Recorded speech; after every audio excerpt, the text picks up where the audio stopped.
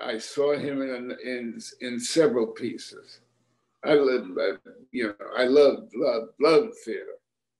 So uh, I went with my grandfather to a number of matinees uh, in Yiddish theater. Not a great number, but you know, a half a dozen or so over the years. Maurice Schwartz, I remember.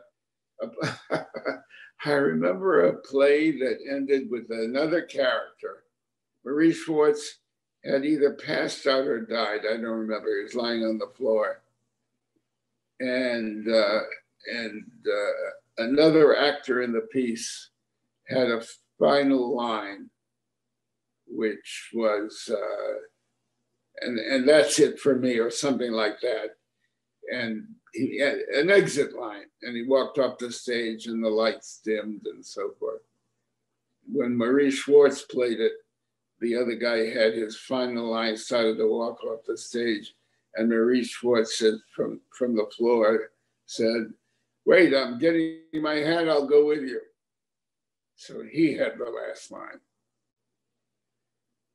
and I re- I remember the story so well in terms of my my grandfather talking about it so well that I believe I'll never know actually, but I believe I, I saw it one matinee. Uh, and I, I, I can't certify that, but I believe I did.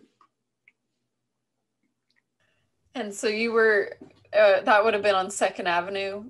That... Yes, yes.